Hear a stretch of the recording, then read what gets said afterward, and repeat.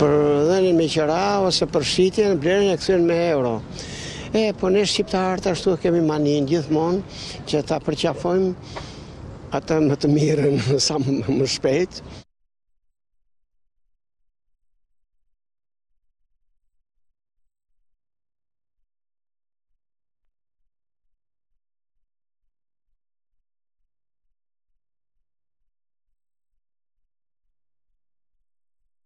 Po në familjen tuaj, çfarë përdorni, euro apo lek? Lek. Nuk është se këto kohët e fundit, shërbimet ose le të themi ato çka duam të blejmë janë, janë në euro. Në gjykimin tuaj, pse ndodh kjo? Pra edhe një shtëpi me qira sot është bërë në euro. Ky është paradoksi i shqiptarëve, përgjithësi, nuk është vetëm imi. Si, si gjithmonë në Shqipëri, për çfarë ndodh? Nuk dihet ajo për çfarë ndodh, se konvertimin e lekut ai që është alergjik nuk është në gjendje ta bëjë me shpejtësi, të bëjë llogarinë, do sa për të futur kokën edhe.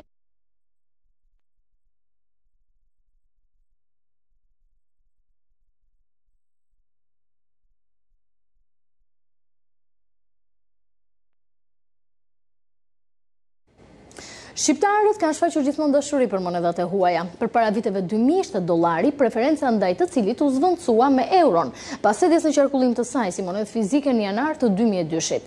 Gati 22 vite më pas, dashuria për euron jo vetëm vijon, por është në kulmet e saj. Sot, gjysma e ekonomisë sonë është e euroizuar, thënë ndryshe, pesëdhjetë për qind përdorin euron në monedhë si pagesë, ndërsa pesëdhjetë për qind lekun. Por cilët janë sektorët ku euro përdoret masivisht, ja ku e kemi dhe grafikisht, qarkullimi në ekonomi pesëdhjetë për qind në euro dhe pesëdhjetë për qind në lek.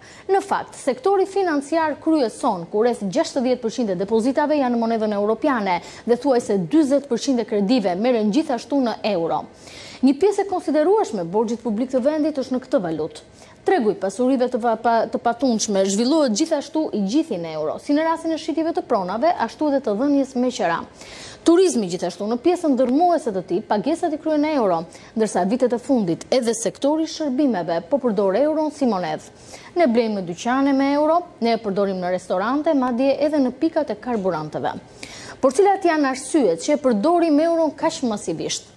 Përvoja e mjaft vendeve tregon se nivelet e larta të euroizimit janë pasojë e kombinimit të disa faktorëve, ku përfshihen krizat ekonomike dhe financiare dhe mungesa e besimit në monedhën vendase, diferenca në normat e interesit mes euros dhe lekut.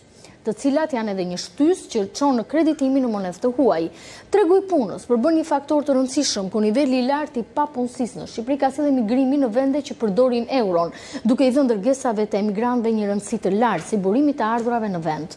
Politikat e gabuara makroekonomike dhe përjetimi i periudhave me inflacion të lartë apo deflacion, Lidhjet e ngushta ekonomike dhe financiare me pole të rëndësishme të ekonomisë në monedhë të huaj, siç është për shembull numri i lartë i bankave që bankën mëmë e kanë në një nga vendet e Bashkimit Europian, dhe kjo automatikisht nxit edhe përdorimin më të madh të euros. Gjithashtu, integrimi tregtar luan rol të rëndësishëm në përdorimin e euros në vendet kandidate, siç është Shqipëria. Përballë një situate të tillë dhe përdorimit kaq masivisht të monedhës europiane në ekonominë tonë, cilat janë risqet?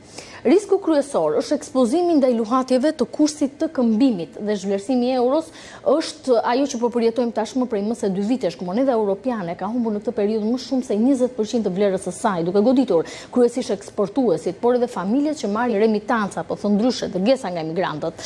Risku i dytë është mungesa e transferimit të efekteve të politikës monetare, si në rastin e krizës së inflacionit që sapo kaluam.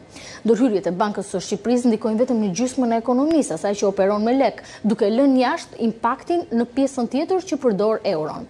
Kjo duket se është edhe arsyeja që institucioni mbikëqyrës bankar i është rikthyer nismës së deuroizimit, thënë ndryshe uljes së përdorimit të euros në ekonomi, një nismë e ndërmarrë që në vitin dy mijë e shtatëmbëdhjetë, por pa sukses. Ndjekim çfarë ka thënë guvernatori Sejko pak ditë më parë dhe rikthehemi.